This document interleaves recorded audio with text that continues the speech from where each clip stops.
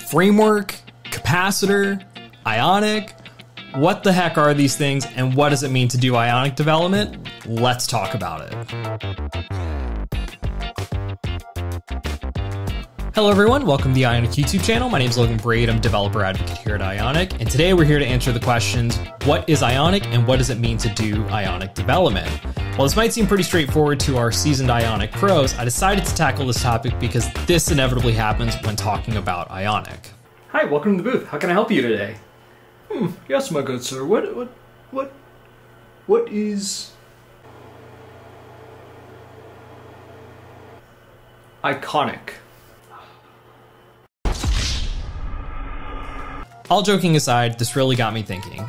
Ionic has a lot of different products and services, and it's got to be a challenge to keep track of, especially if you're new to software development, mobile development, or just Ionic in general. So let's grab some coffee, let's sit down, and let's talk it out. But while I'm off grabbing some coffee, be sure to check out the Ionic community page. The Ionic community page offers incredible links to Ionic's blog, forum, and Discord to help you jumpstart your Ionic journey. The blog offers useful resources relating to performance, tutorials, and product announcements, while our community of Ionic developer experts can help answer any question you may have on the Ionic Discord. Links for these resources down below. Okay, got my coffee, so let's jump into it. So, what is Ionic?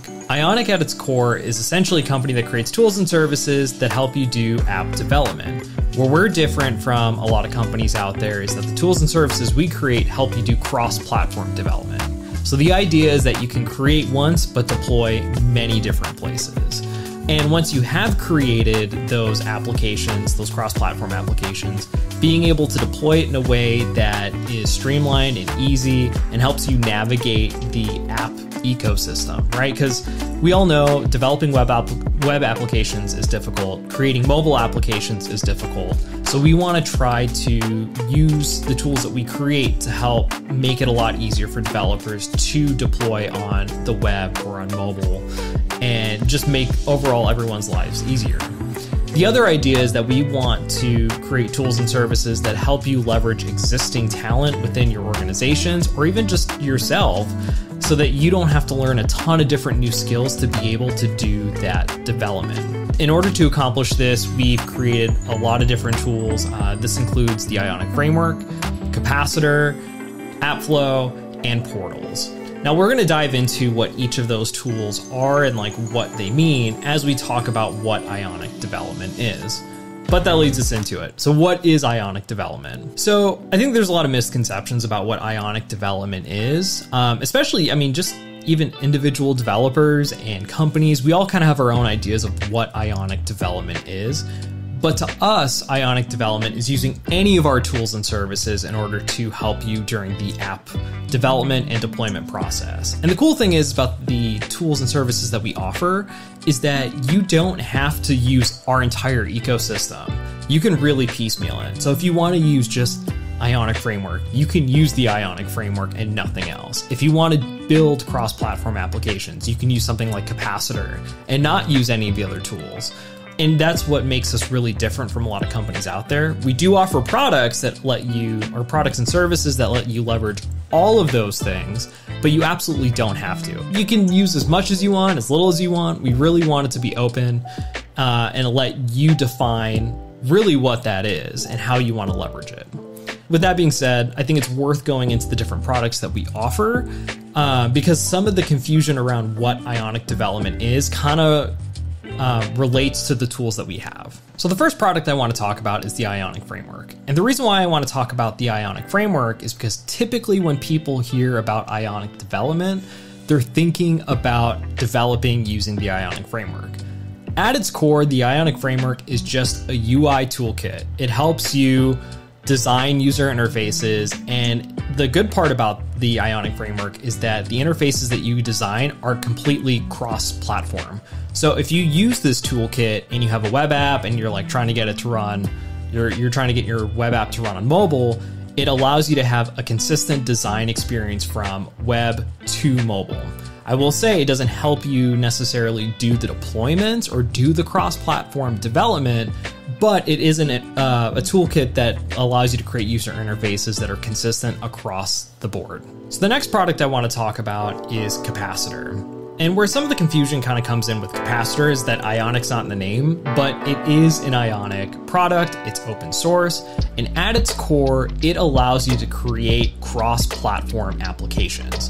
So you can take an Angular application, a React application, a Vue application, use Capacitor, and then deploy it to iOS, on Android, or even the web. It allows you to take your apps and truly make them cross platform. Uh, whereas the Ionic framework is just a UI kit, this is the real meat and potatoes that allows you to take your application and make it cross platform. And just like the Ionic framework, you don't have to use it with any of our other tools or products. It helps to use our other tools and products to do that deployment, but you can really piecemeal it if you want to. So if you already have an existing web application and you just want to turn it into a mobile application, you can totally do that, even if it doesn't use the Ionic framework to make that happen. You don't have to use any of our tools together. We think it makes it easy. We try to make it as easy as possible for our developers to use whatever tools and mix and match with our tool set um, to bring down some of the complexity and make it so that you don't have to do huge overhauls when you're trying to make these cross platform applications. So the third product I want to talk about is AppFlow. Now, AppFlow is not open source, it is a paid product, but AppFlow at its core is a continuous integration and continuous delivery tool. So you can take your iOS applications, your Android applications, your capacitor applications, your React Native applications, or even Cordova applications and deploy them into the app stores. Now, the good part is, just like our other products, you don't have to use them in conjunction with our other tools and services, but this essentially makes it easier to do your deployments uh, without having to go through the tedious process of deploying to the mobile app stores manually. And coming from an, a mobile development background, doing iOS development, uh, I can personally speak to just how difficult it is to do deployments to uh, the Apple App Store. This is supposed to help navigate that, especially if you're not used to navigating the app stores. So what's really nice about AppFlow is that it helps you with the whole app publishing process. There's really nifty features like live updates so that you don't have to, you know, repush your applications in the App Store if you're using Capacitor. Um, and then also it has a ton of automations built into it so that you don't have to sit there and do things manually. You can actually create automations and deploy your your cross-platform applications, your iOS apps, your Android apps directly to the app stores without the headache of doing it manually. So now the last product I want to talk about is Portals. And similar to AppFlow, Portals is not open source, it is a paid product. But what we started realizing with all the tools and services that we offered was that it was mainly geared towards web developers trying to get into the mobile app dev ecosystem. And after talking to uh, companies, customers, and just developers in general, we started realizing that there was a whole subset of, of companies, teams, and people that were already developing using the native tools. So they would, you know, develop using Swift or Java Kotlin and deploying to iOS and Android respectively. And that, you know, they might be working with multiple different teams, but some teams might not be. Uh, some organizations might have multiple teams. So they might have a web development team, they might have a mobile development team, but that there would be idle times between those two teams. So, like, mobile development teams could be developing features, but the actual web development team might have a lull in development. So the idea was is how could we leverage the existing talent within these organizations to continue development and help reduce some of the difficulties with the mobile app development process. Uh, the other thing is that if you have uh, native development teams on staff, so if you have iOS team, an, an Android team, you would potentially have to be developing the same feature twice for both platforms. And what we realized is that, hey, we could actually reduce development time by embedding web applications into native mobile applications. And so that's where Portals comes in. Portals allows development teams to use web development technologies in native iOS and Android apps without having to do like develop things twice or like having to hire on extra talent to get through um, you know more features so it just helps streamline the development process if you're already in the native development ecosystem where the, the real power comes in for portals is is if you have uh, multiple development teams. So if you have a native mobile development team and a web development team, you can actually utilize them in parallel to create features for your mobile applications. Because we realize like every application probably has like a sign in, sign up process. So instead of developing individually on iOS, developing it individually on Android, that creates a lot of user stories, it's a lot of time and a lot of resources to essentially develop the feature twice.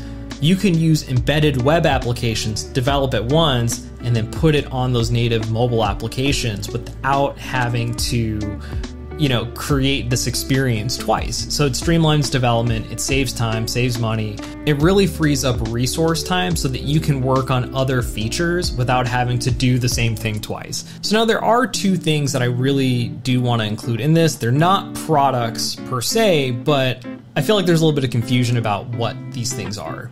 So we have two different clis there's the ionic cli and then there's the capacitor cli and the important thing to remember about these CLIs is that they leverage the products that I've talked about. They're just tools that are used to help streamline the process. So the Ionic CLI um, involves using the Ionic framework and capacitor in order to build uh, your applications. So you're not, it's not necessarily a different product. It's just using what already comes by default with Ionic framework and capacitor in one short package or one small package. The other thing I want to talk about is the capacitor CLI. Now, the capacitor CLI does not use stuff from the Ionic framework. It is just the tools necessary to use capacitor to make your your applications cross-platform. So it's really connected to the capacitor product, but they're not separate products. They just utilize the four different products that I've already talked about.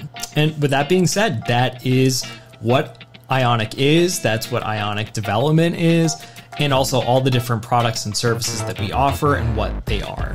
Now, of course, if you have any questions, comments, concerns, please be sure to check out um, the Ionic community page. We have a blog, we have a Discord. So, any questions you may have can definitely be answered there, or even just leave a comment on this video. We'll be sure to do our best to answer. But otherwise, my name is Logan Brade. I'm a developer advocate here at Ionic. It's been a pleasure talking to you guys today, and I hope to see you later. Thanks.